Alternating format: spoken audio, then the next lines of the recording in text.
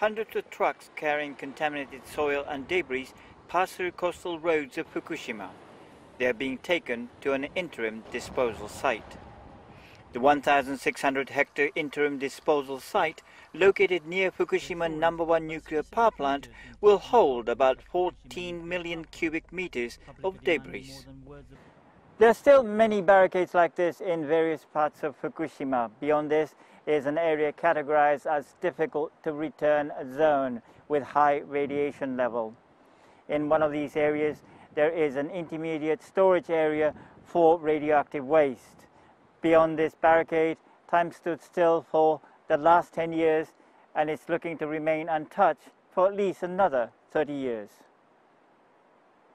Over 2,300 landowners had to give up their land for the nuclear storage site, and now they wonder if they will ever get it back. Under the law, the contaminated waste must be disposed of at a final storage site outside Fukushima within 30 years. During a lower house diet session, Emi Kaneko from the Fukushima constituency asked Environment Minister Koizumi whether there is a possibility of extending the 30 year contract. The minister said not for the moment. Does that mean there is a possibility? Moma is in dilemma. He hopes to go back one day, but he knows that that day may never come. He took his camera to film his house inside the restricted zone to record what it looked like. His emotions overwhelmed him to see what had become of his house and fields.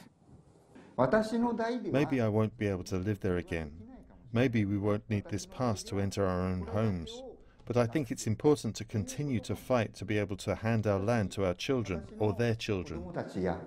According to one survey, over 80% of people outside Fukushima said that they had never heard of requirements for contaminated debris from decontamination work in Fukushima to be stored outside the prefecture for final disposal.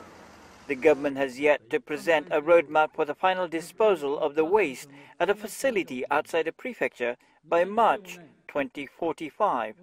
Without it, the debris will remain in Fukushima indefinitely. Terrence Terashima, CGTN, Okuma Village, Fukushima.